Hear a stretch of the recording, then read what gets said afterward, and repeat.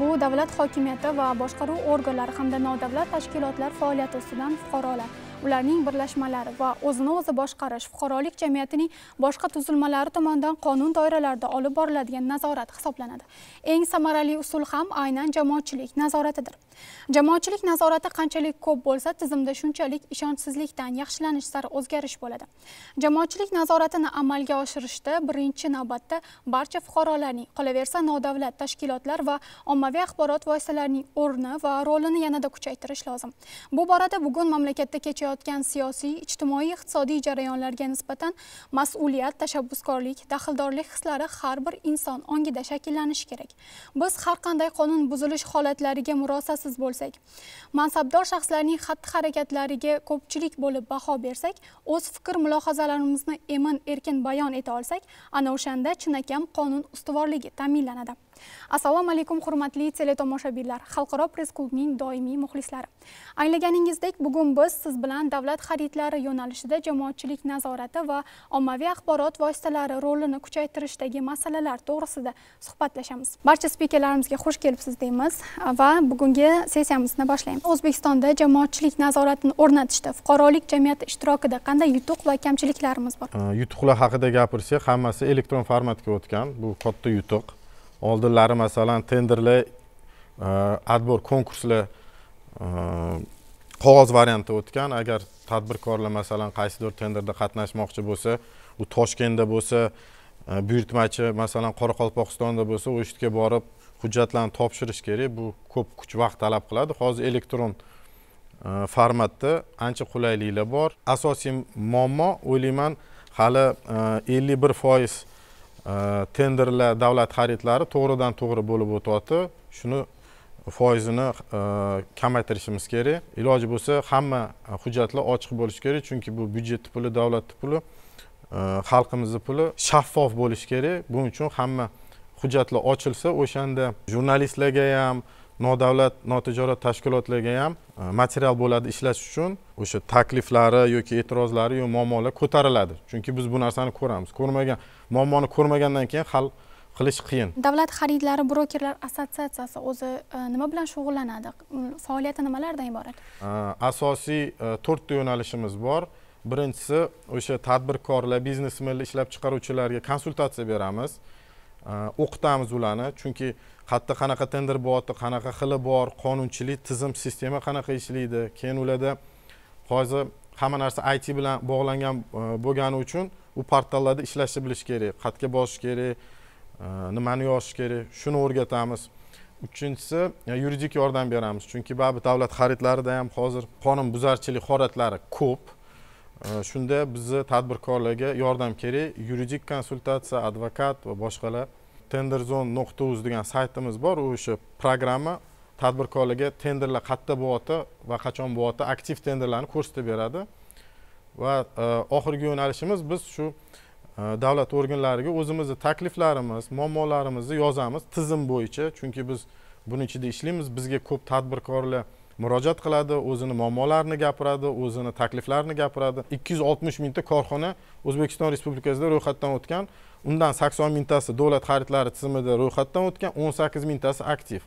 Juda past bu raqamlar. Buni ko'paytirishimiz kerak. Ko'proq odamlar inonib ishonib tenderlarda e, savdolar shaffof u yoqda biznes qilsa bo'ladi kontrakt yutsa bo'ladi deb qatnashish kerak va shuni o'rganib shu sohada ish yuritish kerak. Jamoatchilik fikri hozir e, juda bir aktual narsaga aylangan va e, har qanday davlat tashkiloti e, bugungi kunda jamoatchilik fikri bilan tanishib ushbu masalan jamoatchilik e'tirozi yoki takliflarini o'zining davlat tashkiloti siyosatiga joriy qilishga harakat qiladi. Bu albatta juda muhim va bu yerda o'sha ijtimoiy tarmoqlarning rivoji bevosita har bir fuqaro bevosita o'sha davlat byudjetining xarajatlarini e, nazorat qilish imkoniyati har bir fuqaroga hozirgi kunda yaratilgan. Eng qizig'i yangi konstitutsiyada ham alohida modda bo'lib e, davlat byudjeti xarajatlarida jamoatchilik nazorati o'rnatish bo'yicha alohida modda kiritilgan. Davlat xaridlarini nazorat qiluvchi davlat organlari bevosita o'sha nazorat qiluvchi organlarga e, raqobatni rivojlantirish va iste'molchilar huquqini himoya qilish qo'mitasi hamda korrupsiyaga qarshi kurash qo'mitalari mas'ul hisoblanadi o'z vakolatlari doirasida mhm. ammo masalan viloyatlarda raqobatni rivojlantirish va iste'molchilar huquqini himoya qilish qo'mitasining o'sha boshqarmalari bor yo'g'i yigirma kishi o'sha boshqarmada ishlaydi o'sha jamoatchilik nazorati va o'sha mahalliy aholi mahalliy faollar e, bevosita bu davlat xaridlarini o'z tashabbuslari bilan nazorat qilishlari zarur va hozirgi kunda bu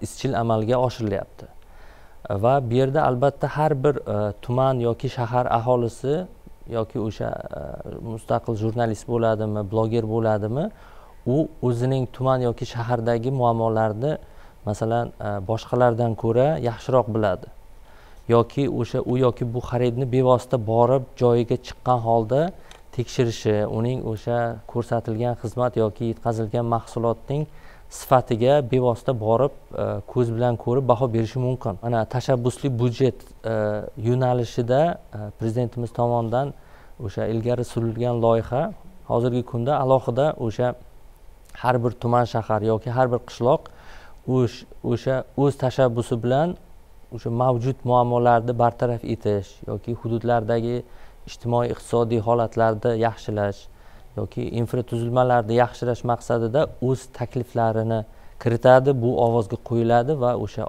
ochiq ovoz berish natijasi bo'yicha eng ko'p ovoz to'plagan loyihalar bevosita e, o'sha davlat byudjetidan e, moliyalashtiriladi.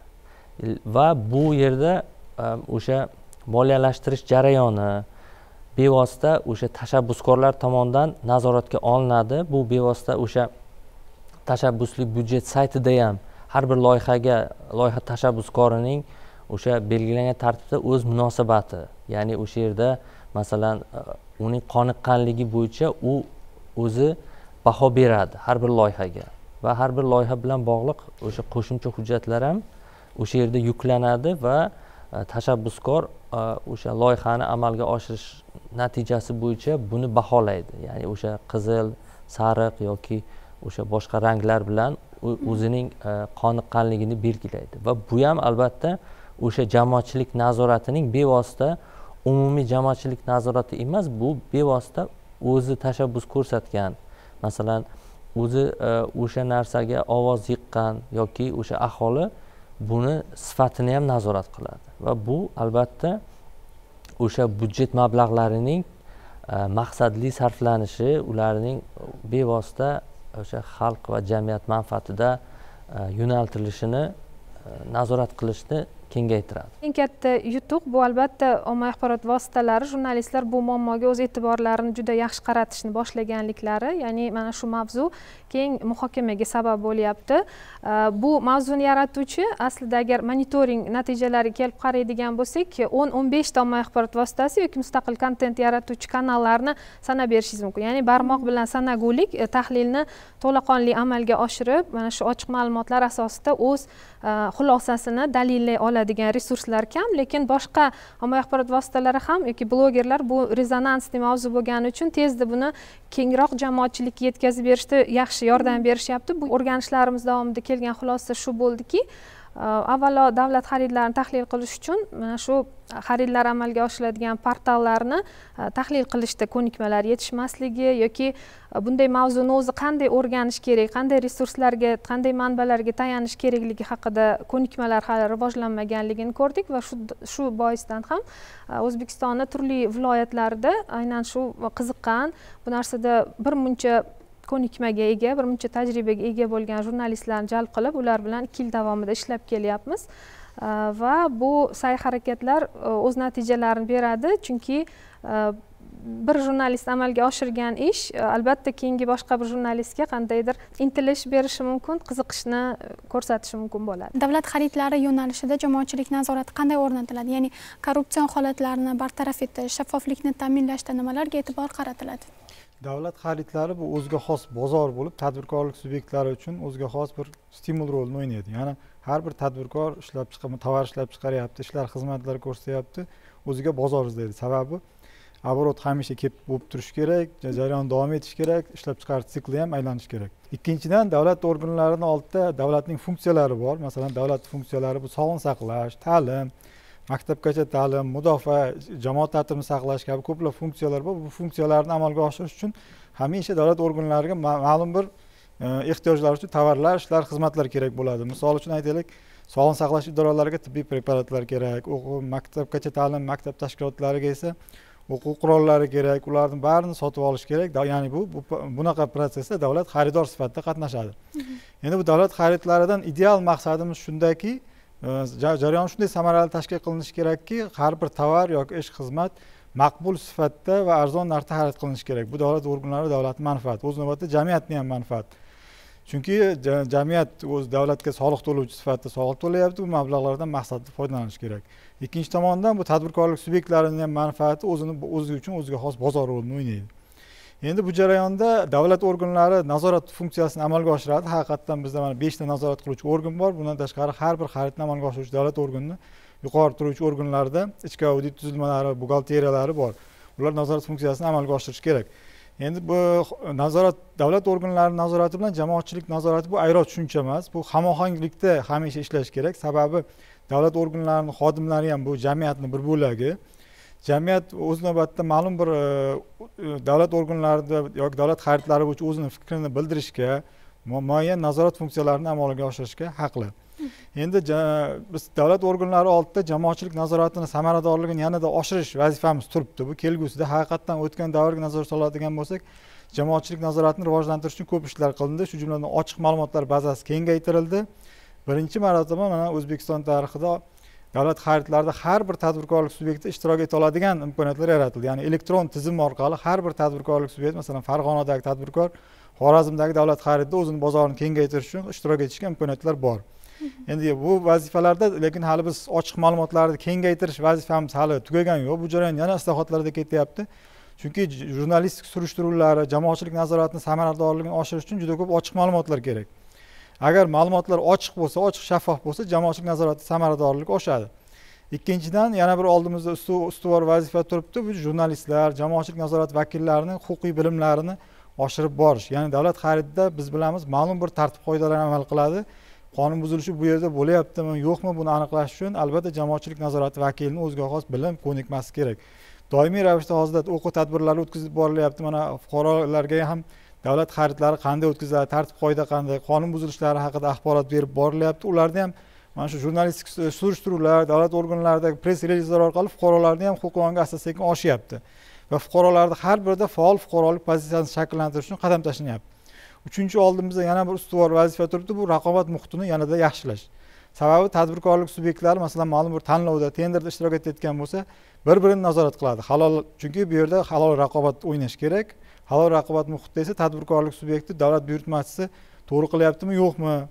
Buni raqobatbardosh tadbirkorlar to'g'ri qilyaptimi yo'qmi? Buni o'ziga xos nazorat qiladi. Bu ham o'ziga xos nazorat mexanizmi. Mana shu uch yo'nalishda biz oldimizda vazifalar turibdi ularni yana ham samaradorligini oshirish. Mana shu bo'yicha harakat qilinyapti mana huquqiy asoslar yana ham takomillashtirilyapti huquqiy bo'shliqlar haqiqatdan mavjud buni tan olish kerak. Ayrim holatlar hali ham huquqiy tartibga solinmay qolyapti.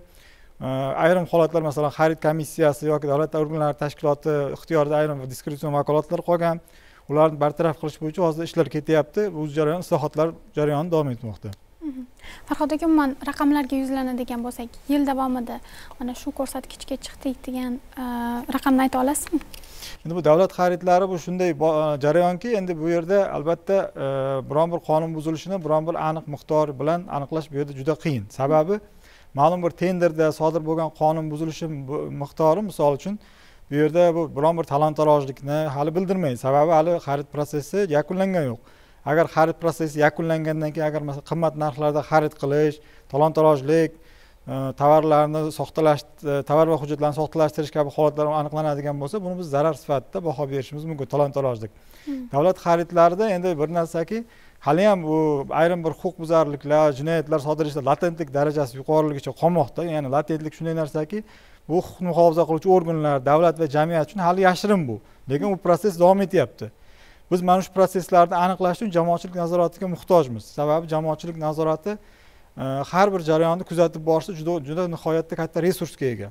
Davlat organlarida ayrim resurslar ba'zida yetishmay qoladi. Endi yana oldimizda turgan yana bir vazifa shundayki sohani yanada raqamlashtirish ya'ni biz hozir davlat organlari maxsus axborot portalida ochiq ma'lumotlar bazasini yaratdik. Ma'lumotlar birlamchi qayd etilyapti. Lekin uni tahlil qiladigan yana bir yana bir samarador tizimni ishlashimiz kerak. Ya'ni bu yerda bizga raqamlashtirish axborot texnologiyalarini rivojlantirish bu yerda qo'l keladi. Endi bizni oldimizda turgan ikkinchi vazifa sohada ma'lumotlar katta ma'lumotlar ya'ni big datani tahlil qilish. Ya'ni bunda raqamli texnologiyalarni joriy etish orqali har bir korrupsion xavf xatar qonun buzilishlarini maxsus e, inson omilidan xoli qilgan holda aniqlab borish va shunga qarab chora ko'rish oldimizdagi muhim vazifasidir. Mhm.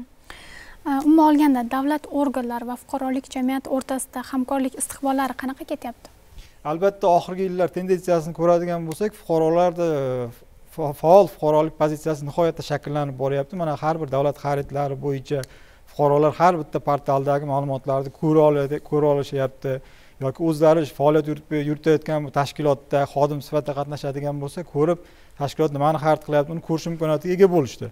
Va o'z navbatida mana ommaviy axborot vositalaridagi bu xabarlar turli xil qonun buzilishlari haqidagi ma'lumotlar fuqarolarni yana ham huquqiy ongini e, o'sishiga rivojlanishiga o'ziga xos stimul bo'lyapti. Sababi bunday sodir bo'lgan qonun buzilishlarni ochiq e'lon qilishni ham e, ijobiy effekti shunda. Ya'ni qaysi qonun buzilishlar qanday sodir qilinyapti bu o'ziga xos sxemani fuqarolar tushunyapti. Va o'z navbatida mana shu sxemani tushungan fuqaro jamoatchilik nazoratida o'zini bilimini oshirish imkoniyatiga ega bo'lyapti. Davlat xaridlarida bitta muhim narsasi bor. Ya'ni davlat xaridlaridagi qonun buzilishida albatta mansabdor shaxs ishtirok etgan bo'ladi. Bu juda muhim narsa. Chunki agar davlat davlat tashkiloti davlat xaridlarini shaffof o'tkazish niyati bo'lsa bu bo'yicha o'sha sifatli nafaqat arzon balki o'sha sifat darajasiga talabiga javob beruvchi mahsulot yo xizmatni olish niyati bo'lsa hech qanday masalan tadbirkor uning bu e, sa'y harakatga to'sqinlik qilolmaydi jamoatchilik albatta e, xaridlarni yana bir e, qiziq tarafi shundaki jamoatchilik uni hali xarid amalga oshmasdan turib bartaraf etish imkoniyati bor. Ya'ni o'sha huquqbuzarlikni qandaydir oldini olish profilaktikasi deymizmi?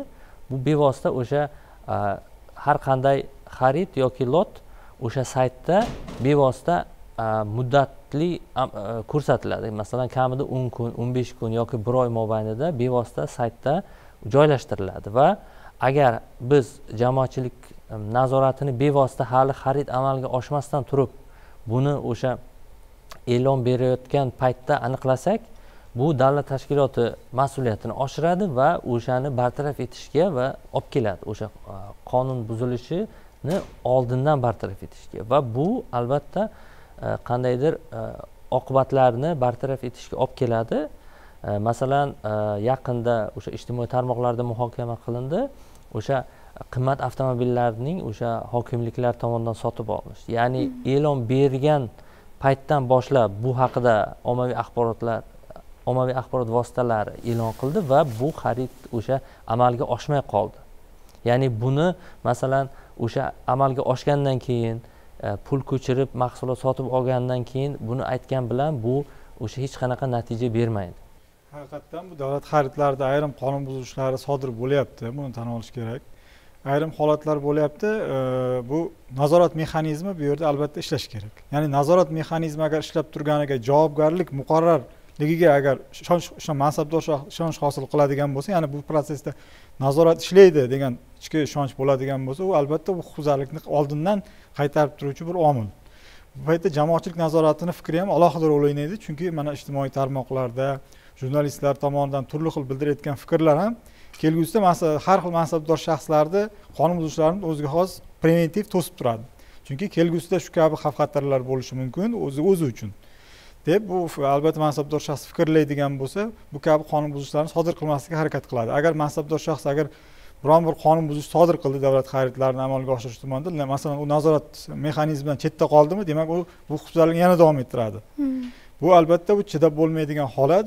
Shuning uchun har bir fuqaroni biz shunday tarbiyalashimiz kerakki hatto yoshlikdan u faol fuqarolik pozitsiyasida bo'lsin. Ya'ni davlat jamiyat hayotida bo'layotgan o'zgarishlar har birisiga fuqaro befarq qarash kerak emas albatta o'zini munosabatini bildirgan albatta bu davlat va jamiyat uchun juda foydali hisoblanadi. Dilfuza rahmatullayevna o'zi umuman zamonaviy jurnalistikani rivojlantirish markazi qanday faoliyat olib boradi? Nimalarni o'zi umumiy faoliyati nimadan iborat va hozirgi kunda qanday loyihalar bilan band hozirgi e, eng yuqori natijaga erishgan bir loyihalarimizdan biri bu mustaqil faktlarni tekshirish platformasini ishga tushirilishi e, ifn e, metodologiyasi asosida bilamiz e, international fact checking network bor. Butun dunyodagi fact checking uchun yaratgan metodologiya asosida ishga tushirilgan factchecknet nuqta uz saytini ishga tushirdik. Bunda bizda jurnalistlar faktlarni tekshirish va'dalar nazoratini amalga oshiradilar va xususan davlat xaridlari monitoringi bilan ham shug'ullanadilar. Mana shu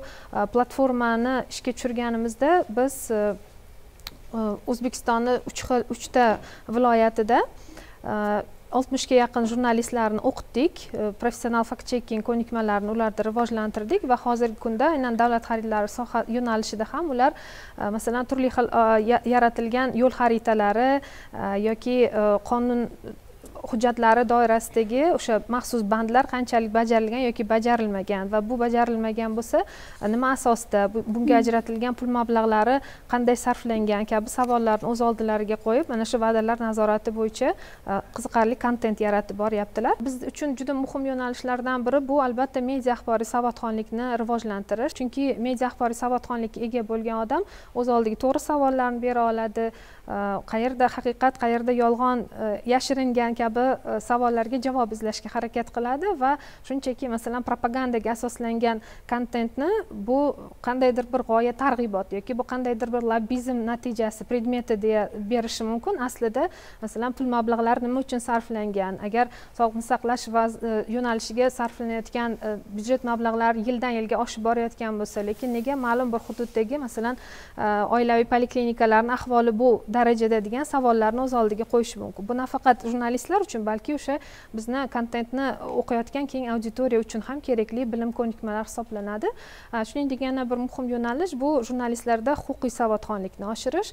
Yuqorida aytib o'tdilar davlat xaridlari yo'nalishida ham albatta huquqiy savodxonlik juda kerakli bilim hisoblanadi. Chunki biz nafaqat raqamlarni balki ularni o'sha me'yoriy hujjatlarga mos yoki mos emasliklarini tekshirishimiz tahlil qilishimiz kerak bo'ladi. Bizda qanchalik o'sha fakt checking ko'nikmalariga ega bo'lgan jurnalistlar ko'p bo'lsa yoki umuman mustaqil blogerlar ko'p bo'lsa shunchalik ular o'z auditoriyasiga minglab e, kishilik auditoriyaga yetkazayotgan kontentlarni biroz filtrdan o'tkazib tozalab uni manbalarini aniq tekshirib berishlari va shu bilan albatta e, bir bir birmuncha sifatli media makonni yaratishga o'z hissalarini qo'shishlari mumkin Э, va albatta biz o'sha media axborot savodxonlikni rivojlantirish yo'nalishida ham e, besh yillik tez orada loyihalarni boshlaymiz. Bu nafaqat jurnalistika va media vakillari orasida balki universitetlar bilan hamkorlikda e, talabalar yoki o'sha ta'lim dargohida maktablarda ta'lim berayotgan o'qituvchilar bilan hamkorlikda amalga oshiradigan juda ko'plab loyihalarni o'z ichiga oladi. Bizlar xohlaymizki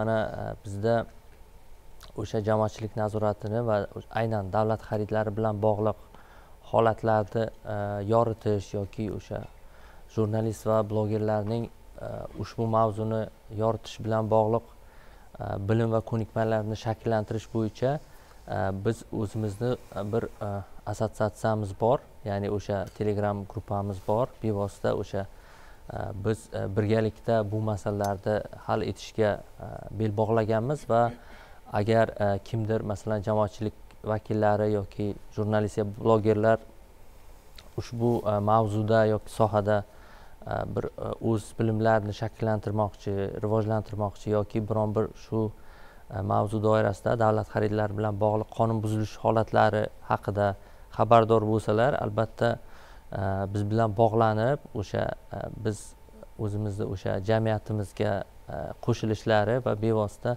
birgalikda ushbu Э, o'sha holatlarni bartaraf etish bo'yicha harakat qilishga undaymiz va umid bildiramiz. Э, ushbu э, jamiyatimiz yanada rivojlanadi va bevosita biz o'sha viloyatlar faollari bilan uzoq tumanlar shaharlarning o'sha e, faol jamoatchilik vakillari bilan e, kelajakda hamkorlik qilish niyatimiz bor. Barcha spikerlarimizga bugungi ishtiroki uchun katta rahmat aytamiz. Va bugungi suhbatdan ko'rinib turibdiki jamoatchilik nazorati ijtimoiy adolatni qaror toptirish uchun shaxs jamiyat va davlat aloqalarida muvozanat tenglik o'zaro mas'uliyat va javobgarlikka xizmat qiladi. Shuning bilan bugungi sessiyamiz o'z nihoyasiga yetdi. Yana efir orqali ko'rishguncha xayr salomat bo'ling.